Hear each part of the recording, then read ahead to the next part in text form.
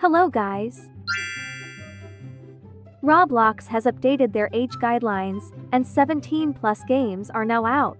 Let's take a look. The 17 plus games update has been something we have all been waiting for over the past few months, and the update is now officially available. This update is covered in an official blog post by Roblox. It says, creators will be able to offer experiences for those 17 and older that feature more mature themes and storylines. These experiences may contain more violence, blood, or crude humor.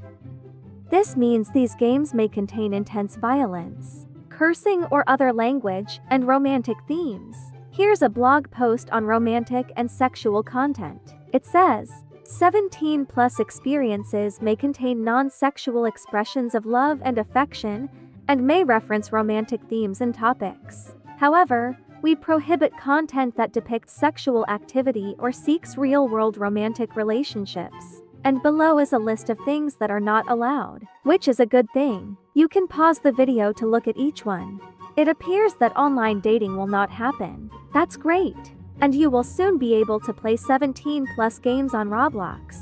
However, you must first verify your age by uploading a selfie and your ID. What are your thoughts on the 17 plus games update?